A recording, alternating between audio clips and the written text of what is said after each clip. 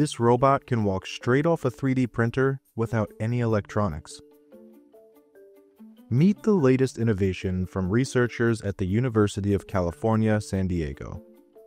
This six legged, fully 3D printed robot moves using only air pressure, powered by a simple cartridge of compressed gas. So, how does it work? Well, instead of motors, batteries, or circuit boards, this robot relies on soft actuators, essentially air powered artificial muscles.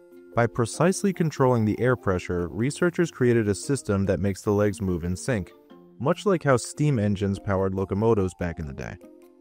It's an incredibly simple but effective approach to motion. One of the biggest advantages of this design is that it can operate in environments where traditional electronics might fail. Think extreme radiation zones, underwater exploration, or maybe even outer space. Unlike robots that rely on delicate sensors and complex wiring, this one is built from flexible materials that make it both durable and adaptable. Another notable aspect of its design is that the entire robot is printed in a single piece, eliminating the need for assembly. Once connected to an air source, it starts walking. That means lower manufacturing costs, just around $20 per unit, and the potential to rapidly produce robots for various tasks, from disaster response to planetary exploration. Now, Let's talk movement. The robot's six legs operate in two alternating groups, coordinated by an internal air powered circuit. Each leg has four degrees of freedom, meaning it can move up, down, forward, and backward. This design allows for smooth, continuous walking without the need for a human operator or external controls. Researchers tested the robot for three straight days in a lab, where it was able to operate continuously as it had a steady air supply. Outside of the lab, the robot proved it could also walk on different terrains, like dirt, sand, and even underwater. It's a big step toward making robots that are self sufficient in unpredictable environments.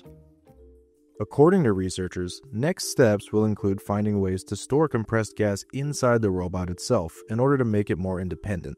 They're also exploring biodegradable and recyclable materials to reduce environmental impact. And beyond just walking, researchers are looking at adding manipulators like grippers, making this technology even more versatile. In the world of robotics, it can often feel like the focus is being put more on building bigger and more complex humanoids.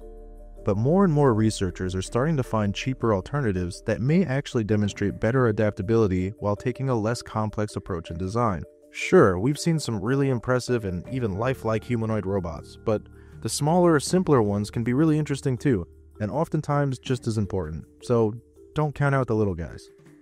But let us know what you think in the comments. And for more on all things robots, head over to Mashable.com.